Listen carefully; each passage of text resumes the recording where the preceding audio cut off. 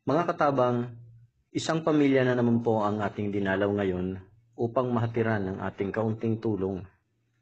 Si Kuya Roger at si Ate Roslyn.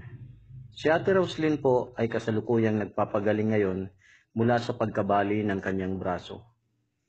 At kung ano po ang kanilang kwento, halina po, tunghayan natin.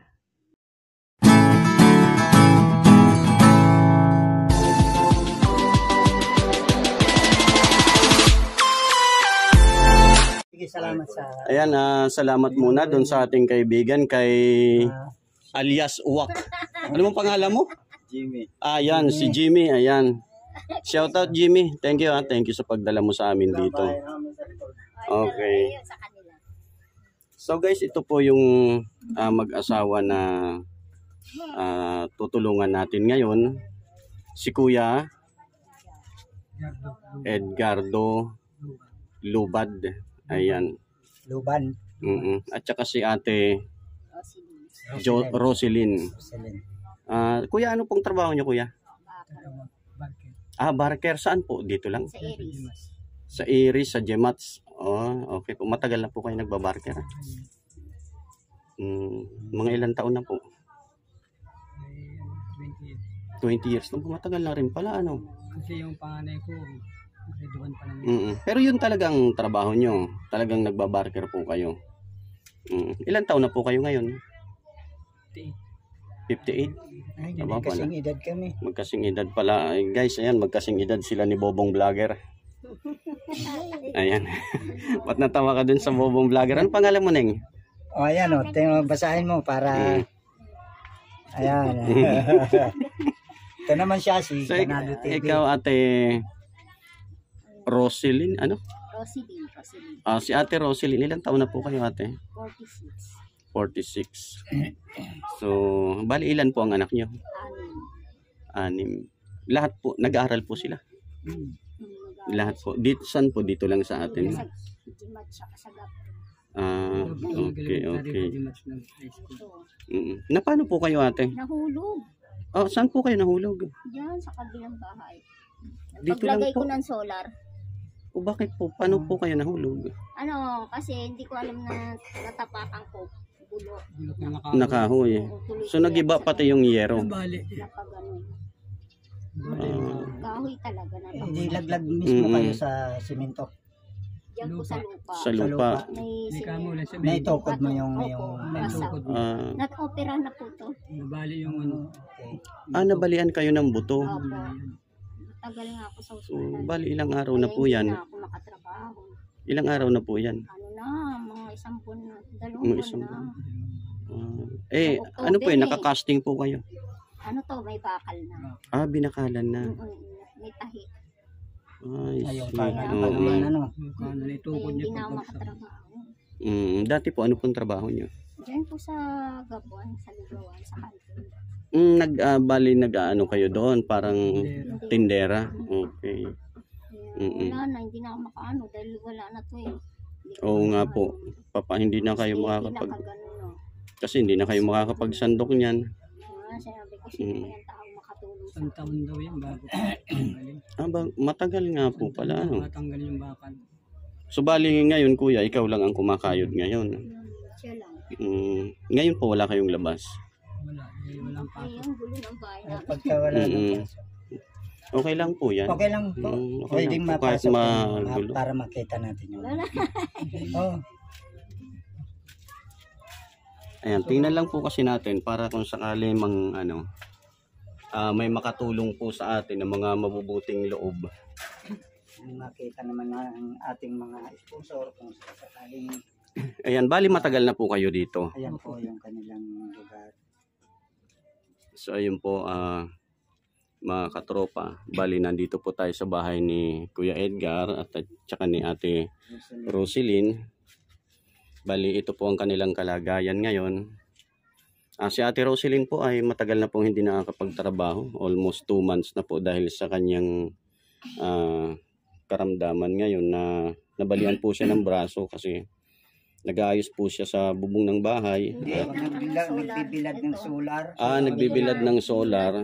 Ayun, tapos nabali yung kahoy na tinutungtungan niya sa bubong kaya nahulog siya. So lalo pong. Nabali din hindi na po sila magkatulungan ng kanyang asawa ni Kuya Edgar kasi nga ah, si Kuya Edgar ay nagbabarker doon sa labas sa kalsada.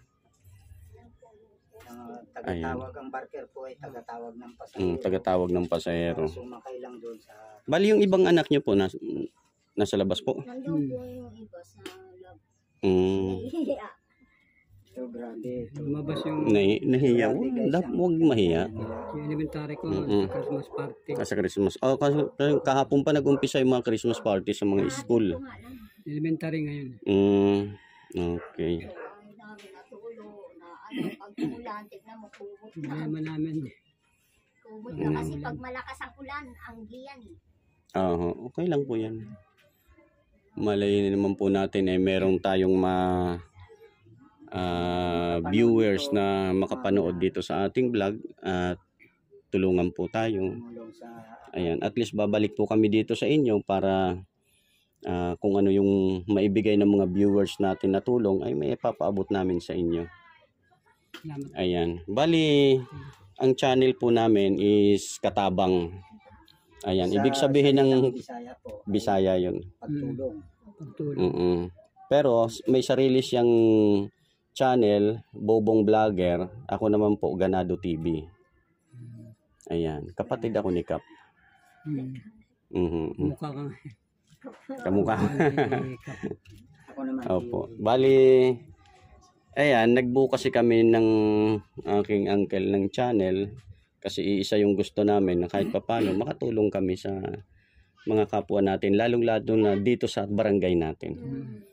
So Ayan. ngayon mga siguro kasi ito kumbaga nag-survey lang kami. Mabibigyan muna namin kayo ng konting ayuda. Ah, O kahit konti lang kahit muna. konti lang muna pang bili-bili muna ng kung ano-ano man dyan. Ah, ito po, patanggapin nyo ang halagang dalawang daan. Ayan. Yan po sa dalawa.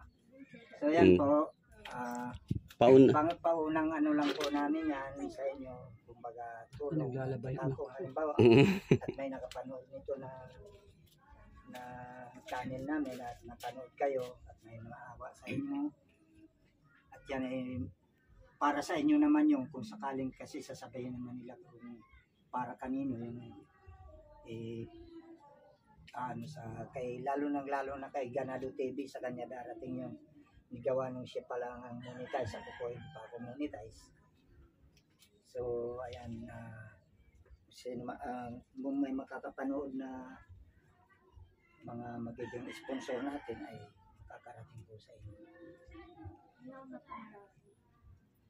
So yun po, ah hindi na po kami magtatagal at sana may makapanood sa atin at para mabalikan namin kayo. Okay. Salamat po, ah, Ate Roslyn ah. at saka si Kuya Edgar. Ah. maraming maraming salamat po sa inyo. Sa Akala ko kambal ka. Salamat nga po. Oh, so guys, ah, Ayan. Thank you po. Bye-bye. Thank you, thank you. Bye-bye. Okay. Bye-bye. Oh, sige po. Ah, So ayan guys, ah galing tayo kala Kuya Edgar at Ate Roslyn at sana matulungan natin siya guys. At kung mga bago pa lang po kayo sa ating channel, ah huwag po natin kalimutan na mag-like at mag-subscribe. Ayan, shout out kay ate na shout out po kay ate.